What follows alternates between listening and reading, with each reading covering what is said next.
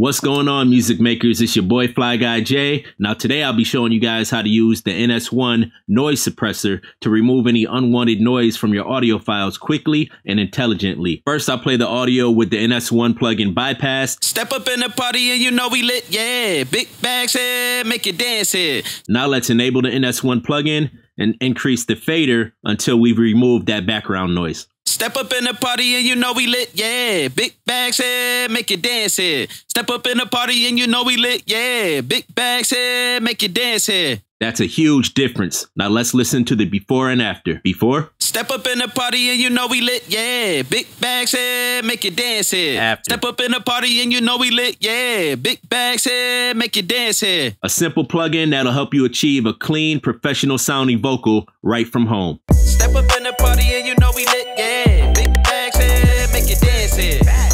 party in your